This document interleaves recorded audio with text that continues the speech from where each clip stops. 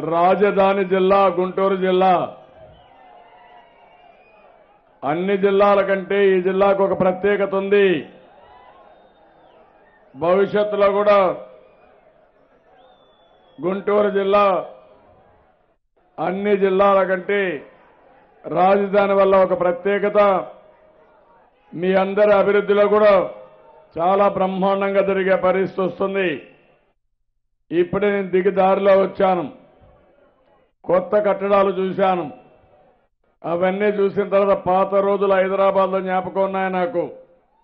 ఒకప్పుడు hitech city develop చేస్తే ఏ విధంగా ప్రారంభించామో అలాంటి అభివృద్ధి ఈరోజు గుంటూరు చుట్టుపక్కల జరుగుతా ఉందంటే రేపు అమరావతి వస్తే ఎంత బ్రహ్మాండంగా ఉంటుందో ఒక్కసారి ఆలోచించుకోవాల్సిన అవసరం ఉంది.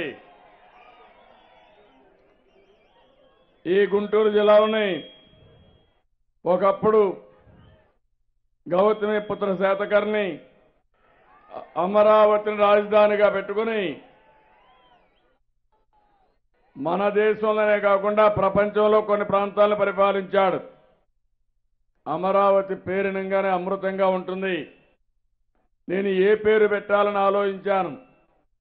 చాలా మంది అన్నారు రకరకాల పేర్లు చెప్పారు. కడాన ఆ రోజు రామోజీరావు గారు ఒక రీసెర్చ్ చేసి ఎప్పుడు నేను మర్చిపోలేను. ఎవరైనా ఒక మంచి దారి చూపిస్తే ఒక మంచి సూచన ఇస్తే అది శాశ్వతంగా గుర్తుపెట్టుకోవాలి. ఆ రోజు రామోజీరావు ఈనాడు రామోజీరావు గారు మీరు ఒకసారి పరిశీలించండి.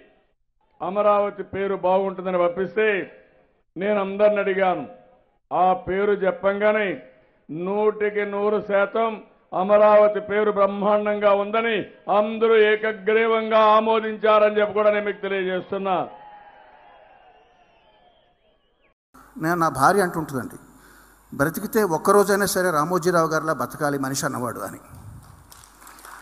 సో అటువంటి రామోజీరావుని కలవడానికి వెళ్ళినప్పుడు మీరు ఆస్కార్ తీసుకురండి ఇంటికి అని ఆయన అంటే అంటే నేను ఆశ్చర్యపోయాను.